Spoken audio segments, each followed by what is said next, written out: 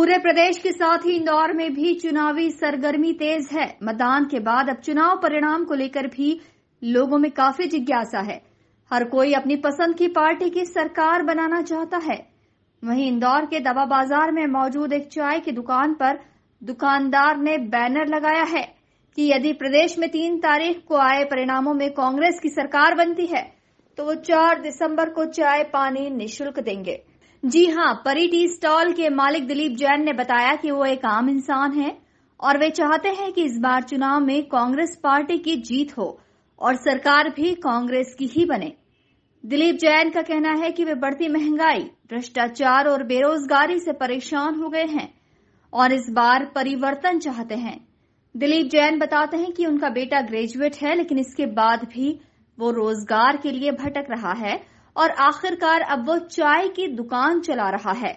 उन्होंने अपनी दुकान पर बैनर लगाकर सामूहिक रूप से घोषणा की है कि अगर प्रदेश में इस बार कांग्रेस की सरकार बनती है तो वे चार दिसंबर को तीन से चार हज़ार लोगों को मुफ़्त में चाय पिलाएँगे।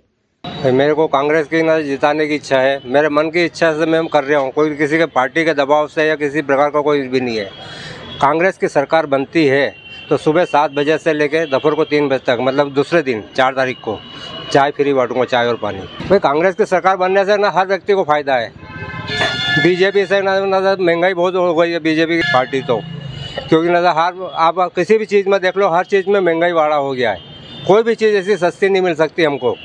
हम न जब कांग्रेस की सरकार थी, बारह सौ रुपये में गैस की टंकी लेते थे, आज हमको वही दो हज़ार रुपये में लेनी पड़ रही है। भाई, कांग्रेस की सरकार आए तो ना सबको रोज़गार मिले, सबसे बड़े तो रोज़गार ना हर व्यक्ति को ना ज़रूरी है।